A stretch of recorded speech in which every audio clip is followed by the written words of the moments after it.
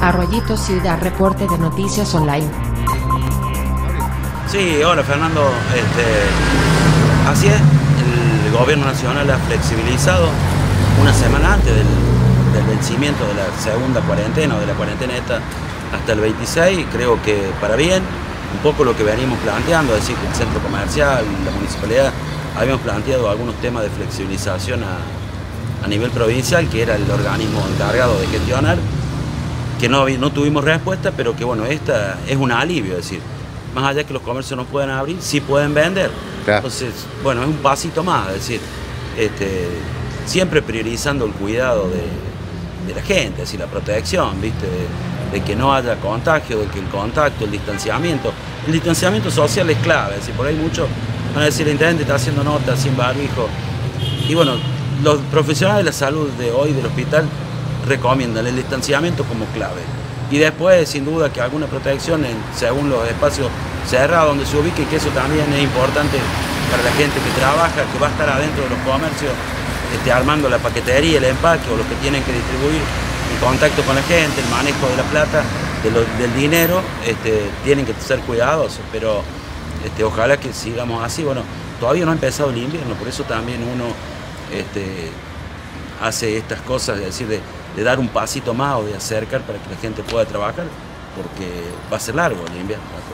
No, digo, bueno, por ahí también quiero hacer la aclaración lo que decía el intendente, ¿no? El tema de no tener él el barbijo, pero vamos a aclarar que eh, se usan los palitos esos que estamos como a seis cuadras, así que tenemos la posibilidad de hacer la nota. No, más vale que eh, Digo, eh, Gustavo, esto también tuvo mucho que ver, más allá de que las normativas vienen también del gobierno nacional, pero también en, lo que hace el centro de comercio, también por ahí pedía ¿no? que se diera esta posibilidad.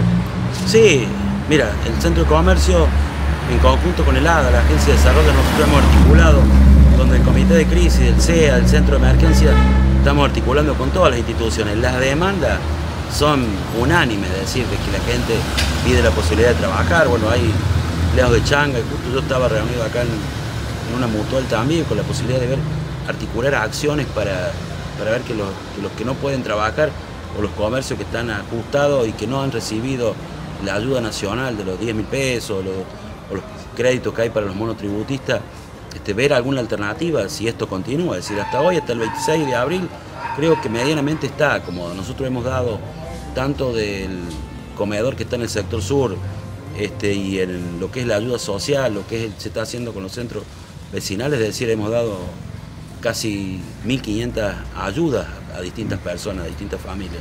De todo modo, esto es transitorio, es para esta instancia exclusivamente. Si se prorroga después del 26, bueno, articular otras acciones. Sin esto también hay que agradecer a todos los comercios, a mucha gente que solidariamente ha acompañado desde confeccionar barbijo hasta la ayuda de, de mercadería que han traído desde los centros vecinales para este, compartir con la gente que no tiene trabajo, que no puede trabajar y que necesita.